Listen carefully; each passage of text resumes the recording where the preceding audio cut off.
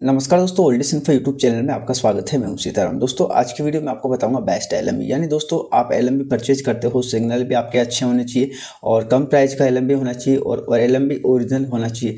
तो वैसे ही दोस्तों मैं यहाँ आपके लिए दो एल लेके आया हूँ लेकिन दोस्तों सबसे पहले एलएमबी के बारे में जानकारी प्राप्त कर सकते हैं आप कि ओरिजिनल एलएमबी की क्या पहचान होती है उसे कैसे पहचाना जाता।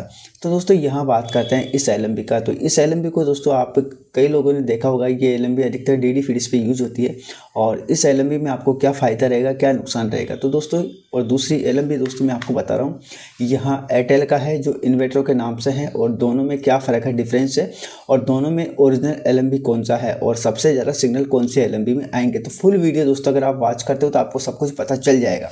दोस्तों वीडियो स्टार्ट करते हैं। यहाँ दोस्तों मैं दोनों ही एलएमबी आपको दिखा रहा हूँ। मैन होता है दोस्तों सिग्नल की, प्राइस की।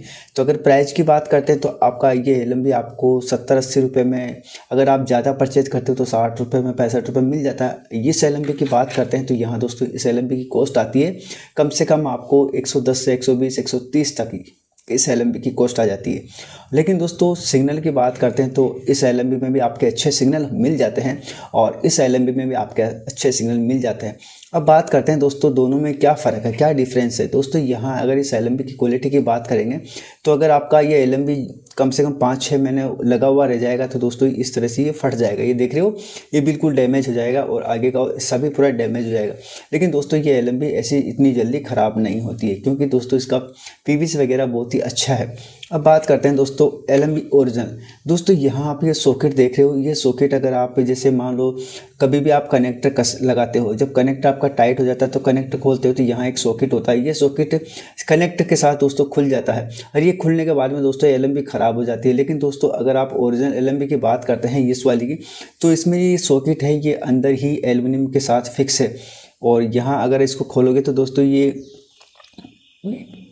अलग से इसमें सॉकेट नहीं है, ये पूरा ही नहीं निकलेगा, क्योंकि दोस्तों यहाँ इस एल का जो एलमिनियम है, उसी के अंदर ये फिक्स है।